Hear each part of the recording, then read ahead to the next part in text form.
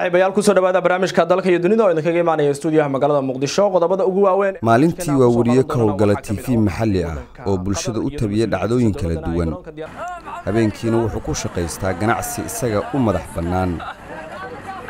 Guulo badan ayaa uu xaqiijiyey muddo toban sanno madaxa la sii gelaysa oo uu marna warbaahinta ka shaqaynayey marna uu waxbarashada ku foogganaa tallaabadanna waa mid kale oo uu dhinaca horumarka u qaadayo aniga ahaan markaa maadaama meedihii aan ku jiro sidoo kale waxaa jira waxyaaba aniga aan jeclaha oo ah inaan sameeyo waxyaabaha aniga gaarka. Ah haddee tahay ganacsiga haddee tahay macnaha dadkaan ka shaqeyn la shaqeynayo wax uun ka duwan inaan sameeyo. Runtii ilaahay xamdigiis waxaan aad ugu fikri jiray markii warbaahin laga tago inaan yeeso ganacsi aniga ii gaara ugu dambeyn sanadkan aan soo dhaafnay waxaan bilaabay inaan goob ganacsi oo yar oo bilow ah aan sameeyo. Goobtaas ganacsiga ah waxaa lagu iibiya cabitaanada dalka. Cabaas fresh fruitis waa kambanigaas macnaa kambani aan shaqaale ka ah ma ah kambanigaas aniga maamulo.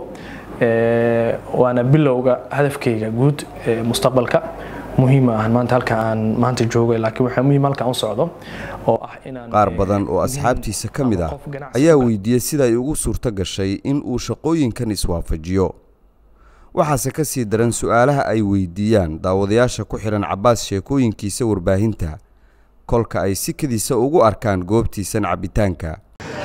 Saaxiibo badan markaan dhahay cabitaan ashida way aamin laayihiin laakiin in badan markaan shaqada ka baxno ilaa iyo intaa seexanayna waxaa u dhexeeyo afartii oo kale markaan shaqada ka baxna galabnimo oo kale ilaa iyo aan dhahno waxaan seexanaynaa tobanka habeennimo lix saacadood oo u dhexeeya.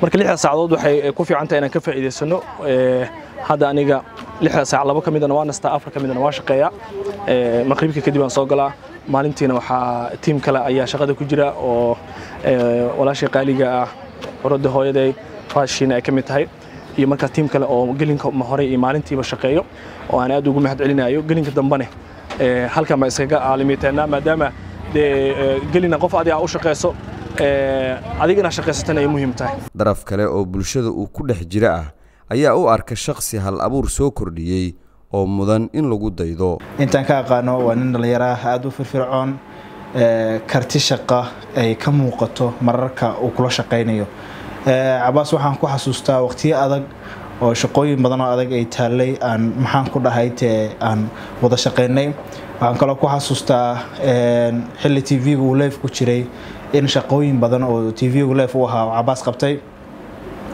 Waxaan oran karaa waa shaqsi howlkar ah. Dhan kale markaan u fiirino iyo fokiska ay warbixintan maanta daaran tahay waa sida uu isugu baalaysi gareeyo ama uu isugu wado ama ay ugu dhalatay shaqada xirfadda miinada saxaafadda iyo sidoo kale ganacsiga. Runtii waxaan oran karaa wariyaasha ku kooban miinada saxaafadda wax badan buu dheeryahay cabaas waxa uuna u yahay tusaale muuqata.